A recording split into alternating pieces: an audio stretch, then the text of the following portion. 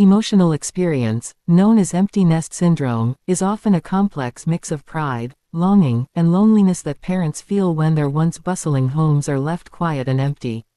Dorothy Canfield coined empty nest terminology in her 1914 book, Mothers and Children, describing it as the phase that begins along with the contraction stage of the family life cycle in which children move out of their parental home to relocate either to a different city or country for educational and professional purposes.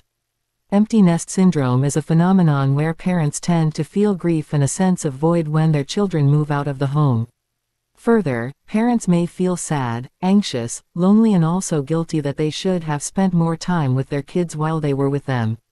It can become worse if the parents did not have a positive friendly relationship with their children, the expert highlights.